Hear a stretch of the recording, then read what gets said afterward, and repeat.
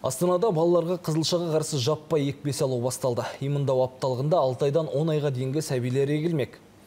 Елордалық дәрігерлердің жоспардан тыс шұғыл шара қабылдауларына елдегі қызылша ауруының өршуі себеп. Қазірдің өзінде бас қалада 260-тан астам тұрғын қызылшаның құрығына ілігіпті. Тақырыпты Камшат Мұхамеджан айтады.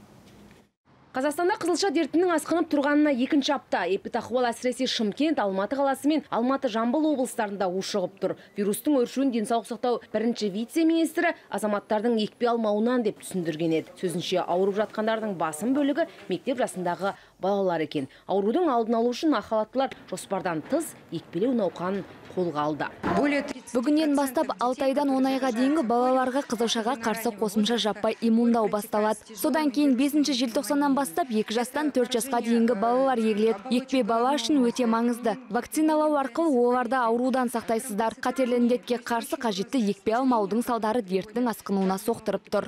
Астанада қазір 261 науқас қызылша жұқтырған. Оның 183-і мектеп жасындағы бала қалалық денсаулық сақтау басқармасының ақпарынша дерттен дені балабақша оқу орны мен әскери бөлімдерде. Аурудың таралуын тежеу үшін елордалық сәбилерге жаппай екпе салына бастады. Алдымен 6 айдан 10 айға дейінгі кейін 2 жастан 4 жасқа дейінгі балаларға екпе салынады. Иммундау апталығы желтоқсанға дейін жалғаспақ.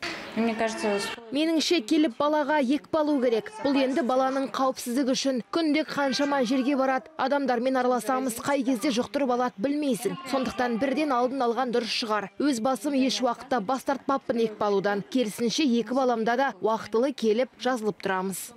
Ел бойынша қазіргі уақытта қызылшамен ауырғандар саны 11 мыңнан асқан. Жалпы сырқаттанғандардың 83 пайызы 14 жасқа дейінгі балалар. Олардың басым бөлігі яғни 85 пайызы екпе алмағандар. Камшат мұхамеджан данияр омар дастан темірбекұлы алматы телеарнасы астана.